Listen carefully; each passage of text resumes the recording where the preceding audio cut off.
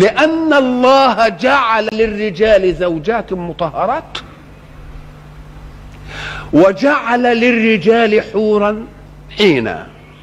وأنتم ما حظكم؟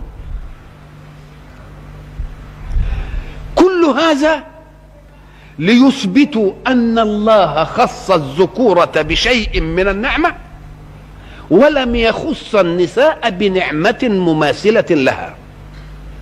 ودخلوا من جهة يظنون أنهم يستميلون بها المرأة ليحرضوها على الإسلام.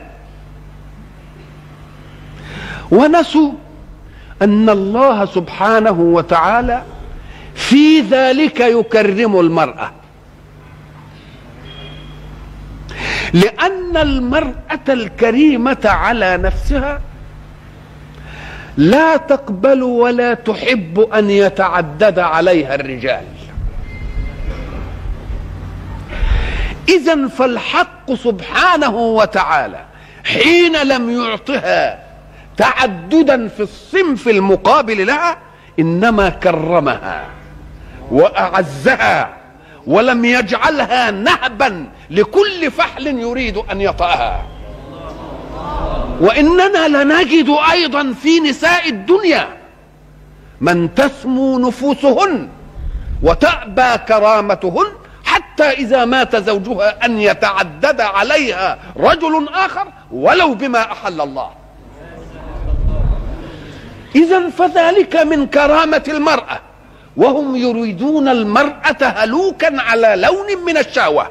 فهم يريدون أن يدخل أن يدخلوا في روعها أن الله حرمها ذلك ونسوا أن الحق سبحانه وتعالى كرمها بهذا تكرمة تشهد لها بأنها عفيفة وبأنها عزيزة لا تحب أن يتعدد عليها الرجال. قلت لمن سألني مرة ونحن في أمريكا. وقد جاء لي بهذا الاعتراض واعتراض تعدد المرأة بالنسبة للرجل وعدم تعدد الرجل بالنسبة للمرأة. عدوا النقاش إلى شيء يتعلق أيضا بالدنيا.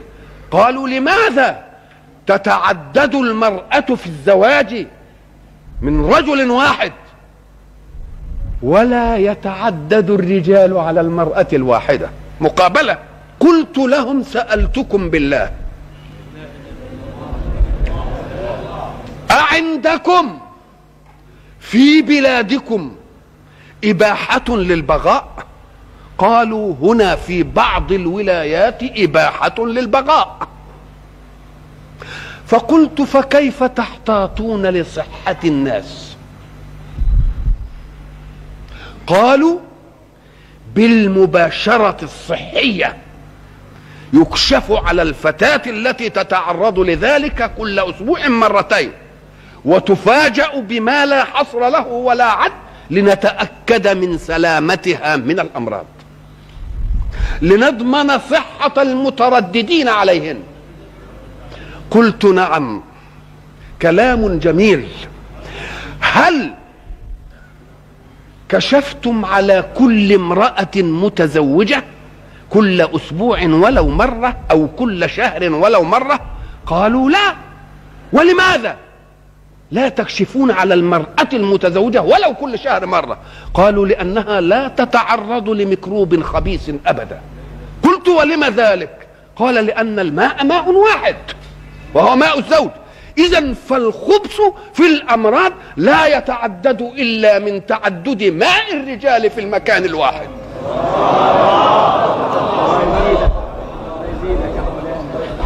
قلت إذا فصدق الله خلقه حين أباح أن تتعدد المرأة ولم يبح أن. أن يتعدد الرجال قلت له أجيبوني أيضا إذا كنتم قد أرحتم الشباب بأن جعلتم لهم مكانا يريحون فيه غرائزهم فأبحتم لنساء أن يجلسن ليتردد الشباب عليهن. أنتم صنعتم جميلا في الشباب. ولماذا لم تجعلوا مكانا يجلس فيه شبان؟ لتأتي الفتيات لتريح نفسها أيضا من عناء الغريزة الجنسية كما أرحتم الشبان فأريحوا الشابات. قالوا لم يحدث ذلك أبدا. ولماذا؟ أنكم بالفطرة علمتم أن ذلك يزري بالمرأة. فلم تصنعوا هذا مع كونكم ملحدين وكافرين بالله؟ اذا فالفطرة السليمة لا تفكر في هذا الأمر إطلاقا. بأن يجلس شبان لتأتي فتيات لتريح انفسهن ليريحن أنفسهن من عناء الغريزة.